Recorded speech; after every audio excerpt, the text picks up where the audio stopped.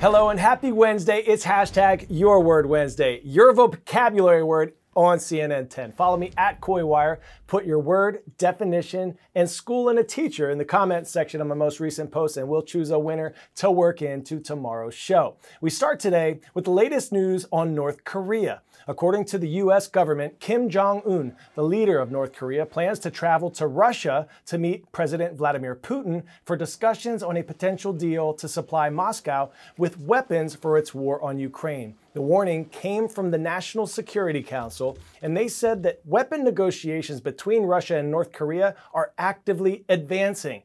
But we don't have any information on when and exactly where a potential meeting between the leaders might take place.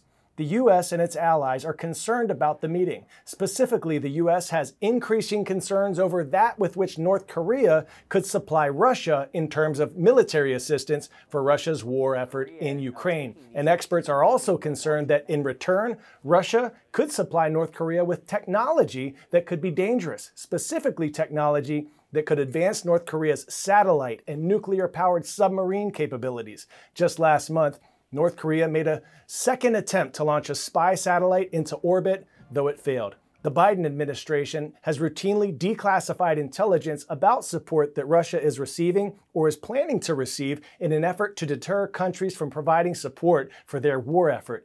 We'll head to Seoul, South Korea now to hear from CNN international correspondent Paula Hancocks. The first and last meeting between the current leaders of Russia and North Korea was more than four years ago. Since then, Russian President Vladimir Putin invaded Ukraine and his military efforts are faltering. So for Kim Jong un, the power dynamics have changed. A large power is now dependent on him. That hasn't happened in a while. Um, the second thing he gains is the possibility of access to more oil. At the moment that Kim Jong un is testing his ballistic missiles, particularly the long range ones, many of which have design commonalities with Russian missiles, he can get a lot help, of help there. US officials believe Moscow could receive multiple types of munitions from Pyongyang in any arms deal, which could be used on the front lines in Ukraine. The Biden administration believes North Korea already delivered infantry rockets and missiles for use by Russian mercenary force Wagner late last year. US officials assess Kim Jong un may travel to Russia to meet Vladimir Putin this month. There is an Eastern Economic Forum in Vladivostok next week, Letters of support have been exchanged between the two leaders.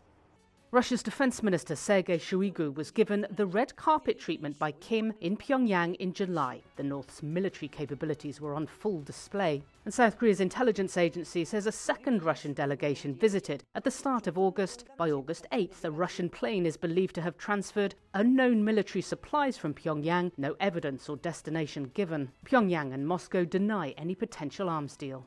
Kim is becoming more paranoid than normal over the last four or five years. And so for him, this alliance achieves, makes him look less isolated. It provides a psychological boost for him and his inner circle. Politically, both Vladimir Putin and Kim Jong un stand to benefit greatly from a closer alliance. They are united by a common enemy, the United States, and they both want an alternative world order, a world where the US is less powerful and where UN Security Council resolutions are less able to be imposed. Paula Hancocks, CNN Seoul.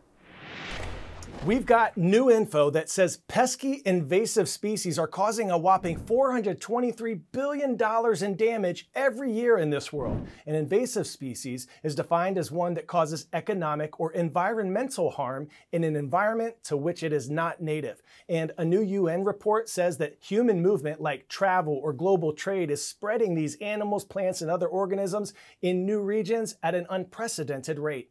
The report says these alien troublemaker species are driving plant and animal extinctions, contributing to food scarcity and making environmental disasters worse all around the planet. And get this, we're discovering about 200 new alien species every year. And out of the 37,000 alien species that have been introduced all over the world, a whopping 3,500 of them are causing serious problems. They're ruining crops, wiping out native species in certain areas, polluting our water, and spreading disease. it's hitting our wallets hard too. Scientists are saying the associated economic costs have been skyrocketing, at least quadrupling every 10 years since 1970. The study hopes these findings will lead to more ideas and cooperation for prevention in the future.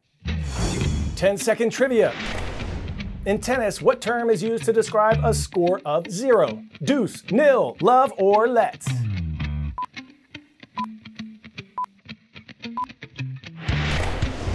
Show me some love with some heart hands if you said love. Historians don't exactly know why, but love is the word used in tennis to denote no score. The US Open is underway in New York City, dating back to 1987. It's the fourth and final major or Grand Slam tennis tournament held each year. The others are the Australian Open, French Open, and Wimbledon. Well, if you have cat-like quickness and golden retriever-like chasing skills, you might find yourself on the court with the biggest tennis stars in the world. CNN's very own Jon Sarlin has more. Tennis balls. For two weeks of the year, they're inescapable in Queens, New York, on the grounds of the US Open. But who collects all those balls? The stoic and hard running ball crew members chasing them down with the best standing view in the house. We decided to find out what it takes to become a member of the US Open ball crew from Tian Noble, the head trainer. What makes a good ball crew member? So it's agility, definitely. We want to be fast out to that ball and get back. Um, we're attentive because we're obviously servicing the world's best tennis players. We want to have fast, flat, and accurate rolls, and then teamwork. I know there is this kind of intense tryout for the ball crew members. Would you be able to show me yeah, absolutely. We what can that get would out. entail. Yeah, we can get out on court. So I'm going to bring Rachel in. She's Okay. going to help. She's part of the ball crew. Hey, Rachel. Hello. Is it hard? It can be difficult, but it's a lot of fun. There are three things every crew member needs to master retrieving the ball, rolling the ball, and servicing the ball back to the player. First up, retrieving the ball. You ready? Okay. Your responsibility is any ball that is hit into the net, run as fast as you can, pick up the ball with two hands, and then return to your ready position. Second one coming. The trickiest part, figuring out where to run after grabbing the ball. Back, back, back, back. Usually if it's before the center line, you're gonna run back, but then if it's past that center line, you're gonna keep going. keep going. Go all the way across. Oh boy, this is tough. Next, rolling the ball without bouncing it. Instead of doing same foot, same arm, do opposite so you can get down low. That's it. Would you say the roll is the hardest part? Yeah, I think so, because a lot of time your adrenaline is pumping, and then you still have to have a very accurate roll. And remember, low to the ground, low to the ground. No, uh, opposite, opposite, opposite. Ah. Have you ever rolled in the blue? Occasionally by accident. And finally, servicing the ball back to the players, which not only requires ball skills, but some mind reading, it seems. Go up as if you've got a player right there ready to serve it. And you're gonna send them two, maybe three, maybe four. And do they say that? It's all like non-verbal cues. whether it's a head nod, whether it's a racket little movement, and you want it just to be a nice toss, so it's coming up around their waist height. You don't want too much air on it. So maybe like a. Not as forceful. There's an art to it. there is. Is that the kind of toss? That's the kind of toss. They'll typically tap back, so you have to be attentive, grab those two, then go back into position. So you put me through the wringer. Yep. I gotta ask you, how'd I do? You did all right. There's a few things you can probably like learn and maybe come back next year. Better like next year. Yes, come back next year. I'll take that.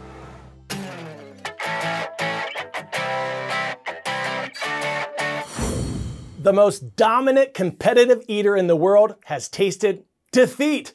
Joey Chestnut goes down at the U.S. Chicken Wing Eating Championship on Sunday. Australian James Webb setting a new world record at Highmark Stadium in Orchard Park, New York. He devoured 276 wings in just 12 minutes. That's about 23 each minute. Chestnut ate 36 fewer wings than Webb, but Joey Jaws says he'll be back next year, hungry for revenge.